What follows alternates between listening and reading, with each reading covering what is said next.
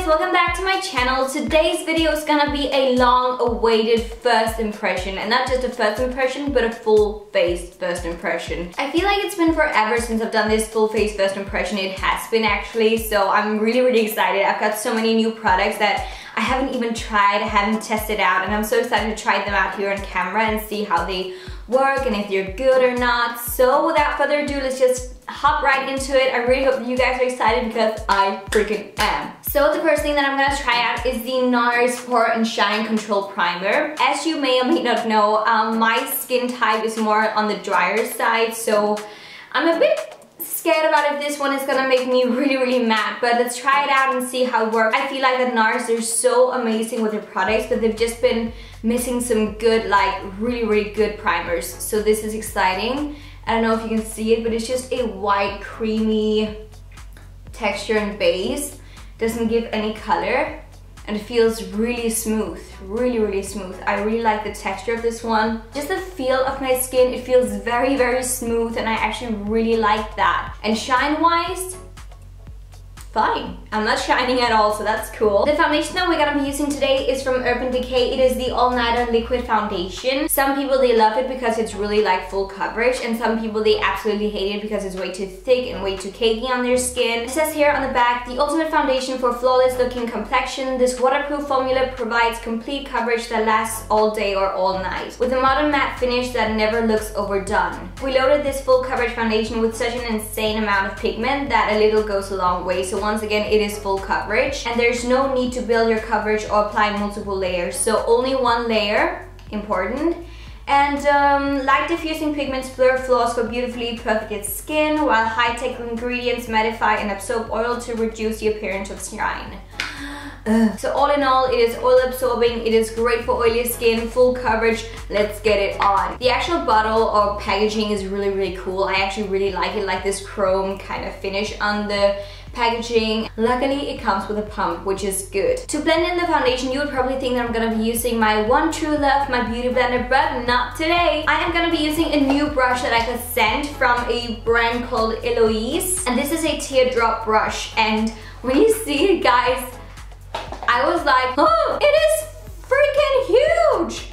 Look at this compared to my face. It is so stunning though. I love the rose gold details and just a little handle. I don't know if you can see it. It's just a really pretty brush and as you can see it's shaped as a teardrop. It feels really soft and lovely but still very dense. But honestly, the size of this one is crazy compared to my face. Just look, it literally covers my entire cheek. So let's try to get the foundation on and blend it in with this one. Mm -hmm. Just shaking it. Don't know if I have to, but doing it anyway. So as you can see, it's not a really, really thick foundation. It actually runs down my face right now, so that is good. Not a really like special uh, scent or anything like that. Let's try the big boy. I'm not even sure how to do this. what the hell?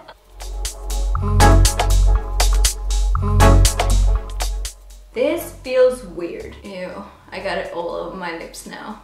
Wow, it is matte. For my skin, it is definitely way too matte because I can already see now how it is starting to settle into my drier areas on my face. I'm not saying it's a bad foundation, but for right now, already now I can tell that it is way too matte for my skin. So it definitely doesn't look its best on me. Color-wise, it matches me like a dream. As you can see, it is a perfect color for me because it is a tiny bit yellow in the undertone as well. Uh, the brush, you know what? I, I actually don't hate it. it is, it's actually quite good because it is that big that it covers a large area at a time, so I don't have to work that much with foundation. Just seeing how nice it is actually blending it into my skin, that is actually pretty impressive. For concealer, I've got one from Makeup Forever. It is the Ultra HD Invisible Cover Concealer. As far as I know, you can both use it under the eyes, but also just around on pimples, spots, redness, whatever you've got. I've got it in the color Y23. Let's try it out. And I like that it comes in this kind of like a squeezy tube.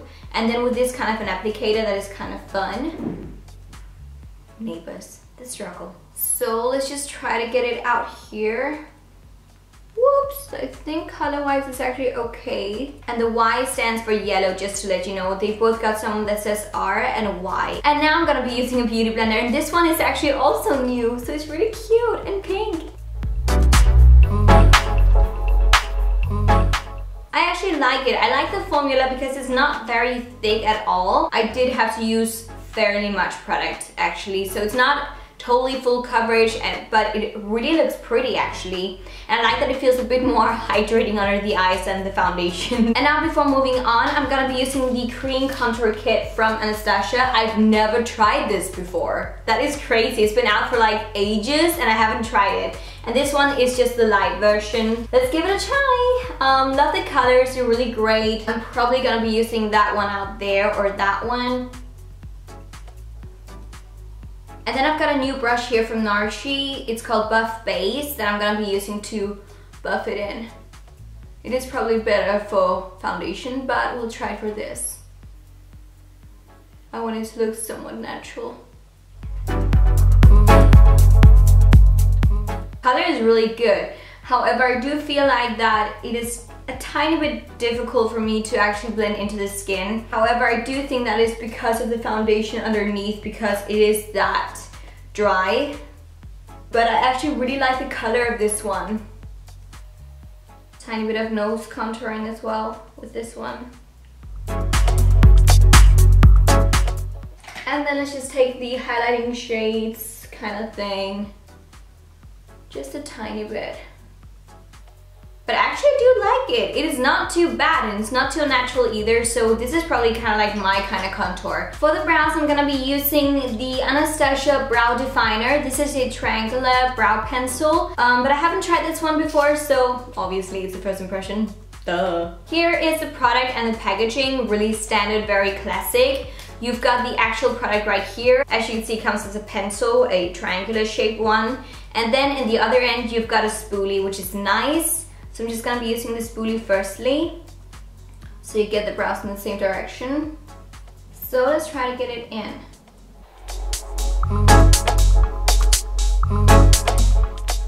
It is definitely a bit more of a drier texture brow pencil, not as creamy as the Brow Wiz.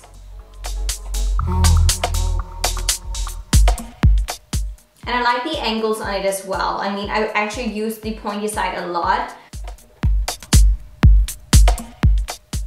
So here's the brows when the product is in and I actually really really like it. The finished result is really good. However, I would say I like this one but once the pointy tip is gone, it is actually just very flat and very difficult for me to get those straight lines. It is probably better for those of you who just wants to fill in some small gaps in your brows. If you want to make them very defined and so on, I would still go for the Brow Wiz. However, to set down the brows, I'm going to be using the Delilah Brow Shape Defining Brow Gel. It's in a color called Sable. Love the packaging, really, really pretty. Oh, it's tiny! It is actually even smaller than the Gimme Brow Brush.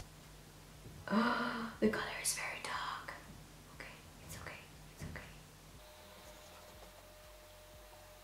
I can already say now I am in love with this product. I think it's amazing. I like how it sets the brows and just gives a tiny bit more texture to the brow without being too stiff or too anything. The color is a tiny bit off because it's a tiny bit too dark for me, but whatever, that's just the color. It has nothing to do with the actual product and the actual product is amazing. For eyeshadows, I'm gonna be using the Kat Von D Metal Matte palette, depending on how you do this. The color selection is amazing, you guys. I can't even. I'm so excited. I love that you've got some shimmers and glitters up here and then all matte down there. But do I want to go purple, green? No. I've got it. First of all, I'm just using a tiny bit of the NARS um, Soft Matte Creamy Concealer. So what we're gonna be doing is that I'm gonna take Velvet down there, that burgundy red purpley color, and putting it And then I'm gonna take Suede over there, the third color, gently blend upwards. So we get kind of like a soft cut crease. It's actually more of an aubergine kind of color when it gets on the skin. And then just blending it with Suede. And then just going back once again with the concealer.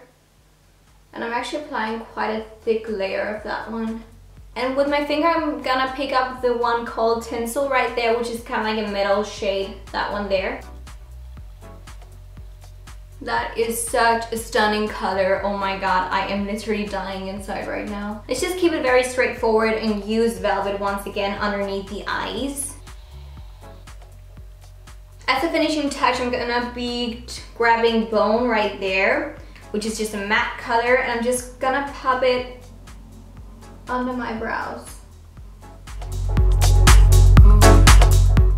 I'm in love with this palette, can I just say, I mean the result speaks for itself. I think it's so pretty, great colors. I love there's such a huge variety of shades that you can use. For mascara, I'm gonna be using the By Terry Mascara Terrybly Mascara Serum Growth Booster Mascara. That was a lot of mascara in one sentence. Wow. Oh, I love the packaging. Just look at that. That is so pretty very luxurious looking. So as you can see, the brush is kind of standard, actually nothing too special.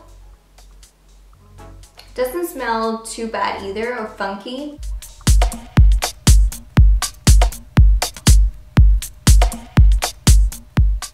Volume is nowhere to be found, but separation and great everyday lashes definitely. And before applying it underneath, actually I'm just gonna set down or bake under my eyes with the new Kat Von D setting powder. This is translucent, but I like that it's a tiny bit of a yellow tone to it, so it's not a whitish effect that you get from it. And I don't even know if this is made for baking, but we're gonna try it. This is a first impression. I love that it's shaped like a star in there.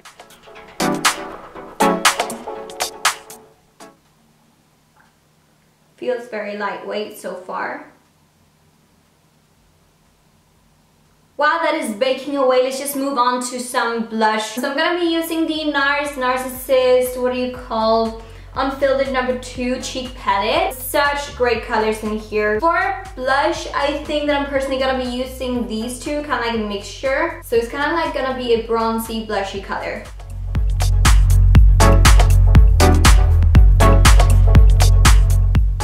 So you do get a tiny bit of a peachy, clementine kind of color. That's even a description, I don't know. Yeah, just really pretty and kind of natural as well. And for highlighter, while we're still waiting, I am gonna be using the Too Faced Candlelight Glow Highlighting Powder Duo. And this is in the shade Warm Glow. Oh, so pretty. It is definitely warm tone, but I like that. And I'm just gonna mix them together.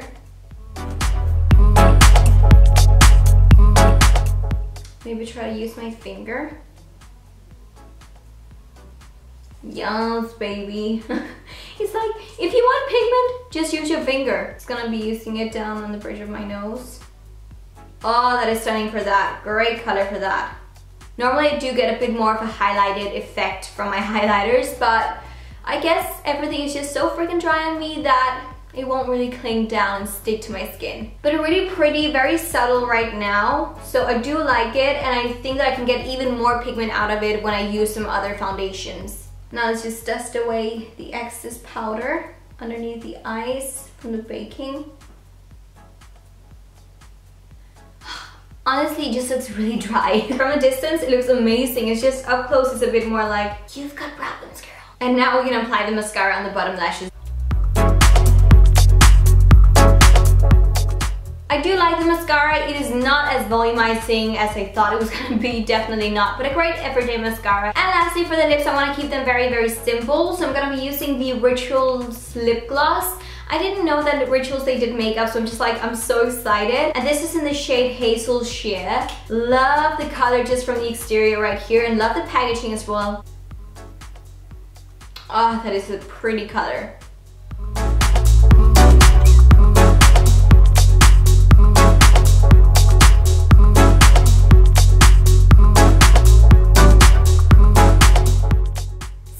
The finished result of all of the products and honestly, I love this look. But now I'm gonna wait till the end of the day so we can see how well it's all lasted on my skin. That is also kind of like the only way that we really get to see how well the primer is done. So I'm really excited about that. But thank you so much for watching so far and stay tuned. Hey guys, so right now it's around 11 o'clock at night time and I should really head to bed. I'm going to some different events tomorrow with Fashion Week so I'm just like what I even doing right now?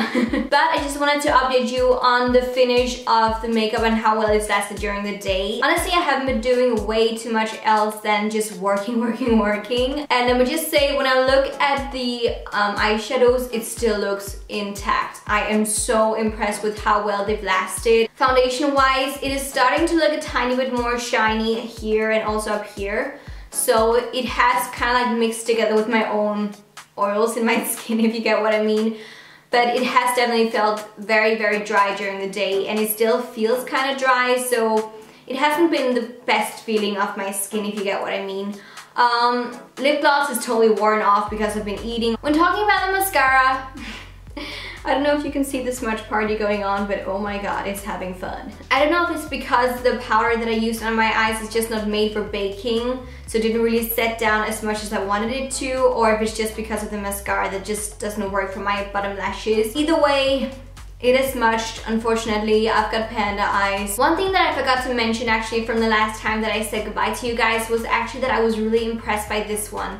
The brush, the um, teardrop brush. I really liked it. I'm definitely gonna try to work with it with some other different foundations because as I said, this is not the best foundation for my skin, but with my NARS Sheer Glow or something like that, I'm sure this is gonna be amazing. Concealer wise, fine as well. I didn't feel heavy. And also now that I get up close, I don't know if you can see, but my skin just looks really dry. Thank you so very much for watching and um, please like and subscribe if you haven't done that already and go check out my Instagram because I've got a huge giveaway over there and um, I just want to say thank you so much for all of the support on my Kingdom of Novhalaga second channel. Mwah! Means the world to me. I love you all to the moon and back and everywhere else.